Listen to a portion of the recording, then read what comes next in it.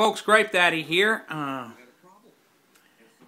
I just got to tell you, Brian Bigot, I mean, uh, Bigot Gumbel, uh, yeah, whatever that jackass's name is on Real Sports that made that idiotic comment about the head of the NBA.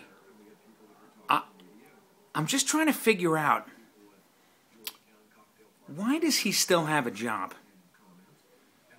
A week before, the singer for the NFL with the greatest song ever that you hear it and you think of the NFL is fired because he says a couple of things that I thought was a joke, a pretty funny joke.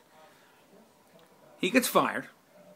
Gumbel gets on all fresh and tightened up, and he's going to say, oh, yeah, David Stern is in control over the boys, and oh, and this and that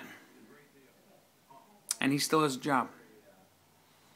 I'm going to send some guys down to HBO headquarters and see if we can't protest that guy out of a job. Because you know what? That guy's been a bigot for 20 years.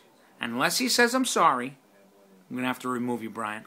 We're going to have to remove you, Sarandon, Robbins, uh, all these other morons that are just so stuck and glued to the Libby left that they just don't they just don't sing on the same level.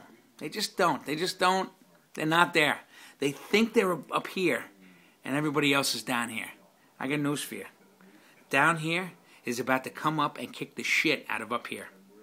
It's only a matter of time. Gripe Daddy out.